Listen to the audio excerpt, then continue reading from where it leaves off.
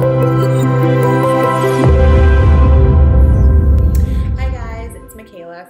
Institute. This is going to be another TintWiz training video, which is a part of the Teaching TintWiz series. In this one, I'm going to specifically go over how to create and send an invoice, which is also another great feature of this program. If you're not signed up already, just go to tintwiz.com. You can sign up for free right here, and it's super simple to sign up. There's no credit cards required or anything like that.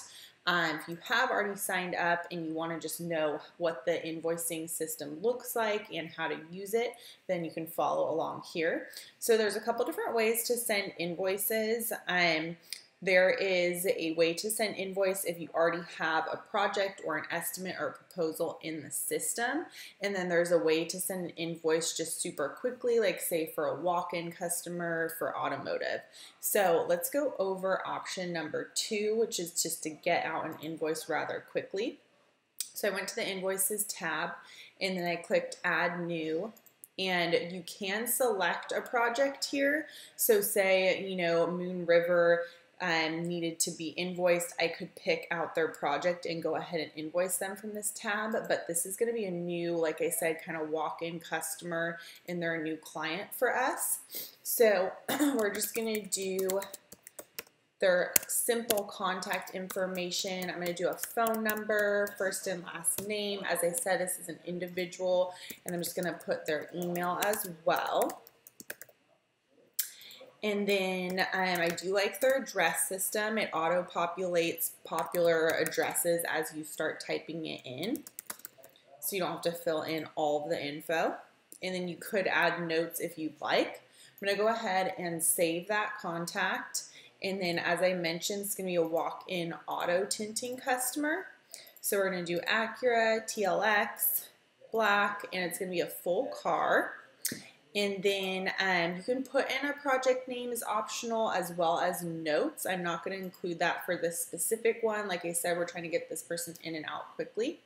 And you can go ahead and plug in the rate. So the full car for them was 350. You can add in more description into the notes. So I'm going to do um, full car ATC tinting.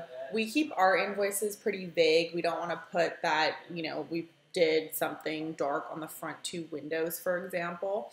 So I'm going to go ahead and scroll down here just to make sure everything looks correct. Say they got a headlight restore, something like that, you can quickly add another line item. And that was going to be 65.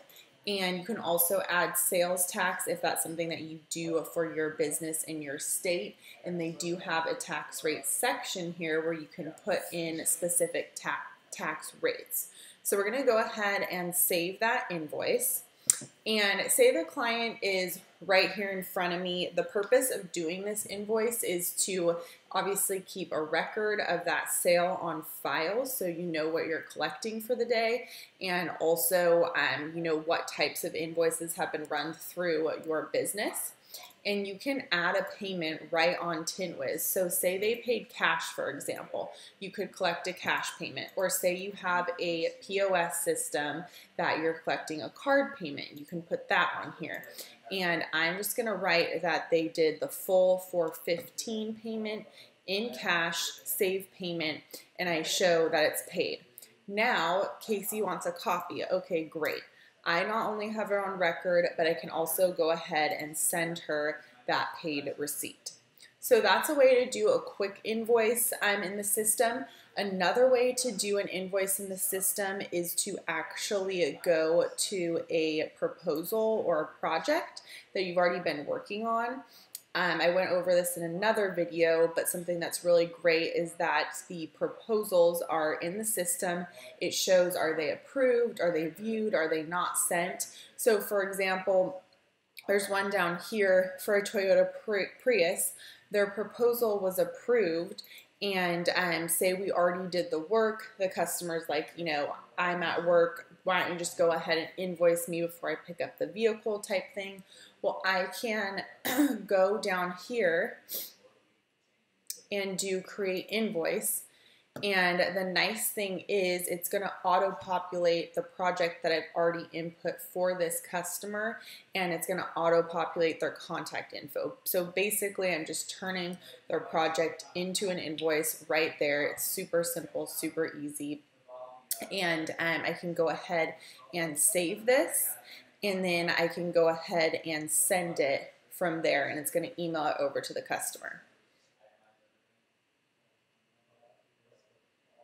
And I'm just checking that everything looks good.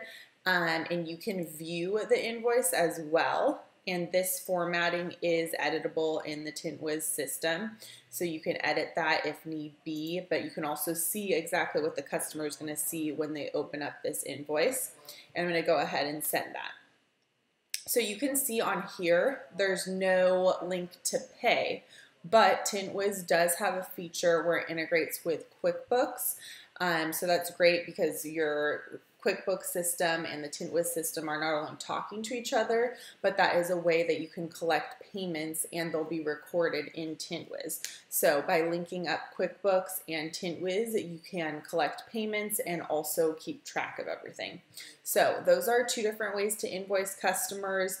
Um, another thing that I like about the invoice system in here is you can see what invoices have been sent, which ones have been paid, um, which ones have been viewed, which is super important because we all know customers say, oh, you know, I didn't receive that invoice. And it's like, well, actually, I can see you've opened it multiple times. So, um, for example, this one, if we take a look at it um, and go into their invoice, you can see it's viewed right there and they don't have any payments recorded. So that's one thing that I really like about this system is it not only tracks what your internal team is doing, but also what customers are doing. If they are opening up your estimates or invoices, approving them, if they viewed them, or if they're paid. And then if you clicked into it further, like I just did, it showed exactly what date and time that he opened this invoice. So I hope this was helpful to you. If you have any questions, definitely leave them in the comments. And TintWiz also has an online chat support. So um, that works really well. Um, if you need a quick response on something super specific, especially if it's specific to your account. So we'll look forward to seeing you on the next one.